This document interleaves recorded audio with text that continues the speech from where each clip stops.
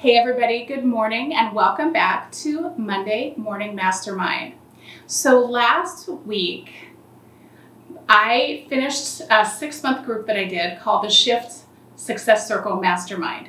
And just at the, at the very end, at the last minute, I pulled out my giraffe picture that I used from my Leadership Academy for Women. And, and actually, I have used this giraffe sort of totem. The giraffe sort of been my my um, spirit animal for many, many years. And how this all started was when I was just 19 years old, I went to a personal development conference at like the airport hotel where some speaker came in from out of town and did a motivational talk uh, to inspire everybody that they could do just something a little different with their lives. And at the end of that talk, that woman who I don't remember said something that so inspired me and she told the story of the giraffe and it's so it stayed with me until now. And over the years i try to remember what she said and probably added some things of my own. Um, but when i did my first graduating class of leadership academy i wrote this for those women. And i've used it ever since then. So this is what it is.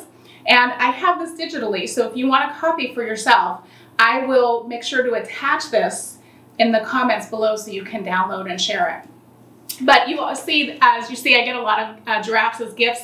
Behind uh, you on the wall is a is an artist's rendition of a giraffe, and people give me giraffe gifts all the time. I have necklaces and earrings and all that. But this is what this is what I'll put this here, and I'll use this is my first giraffe that I ever got as a gift. And what the giraffe teaches us is to always remember to stand tall um, and to stick your neck out. That's why you have a long neck, right? So you can stick it out and, um, and stretch yourself, right? The giraffe, giraffe teaches us to stretch yourself. Um, this unique outfit she has on here reminds us to be distinctive. And don't go slow, friends. The giraffe runs very, very fast, so run fast. Um, another thing to know about this coat, this is a very thick skin. And when you're going to be distinctive and when you're going to be different, you're going to do different things, you're going to need to have a thick skin. So remember that from the giraffe. Um, and one of my favorite things is, you know, the giraffe's um, heart is actually the biggest organ in its body. And it is right here. And that teaches us to lead with your heart. So there's some, some good, um, happy feeling things for you this week to get your week started. Um, stretch yourself a little bit, stand tall, reach for the treetops. You know, this, this giraffe only eats the tastiest leaves from the very tops of the trees. And that's exactly what I want for you. I'm Beth Caldwell. This is Monday Morning Mastermind, and I will see you next week.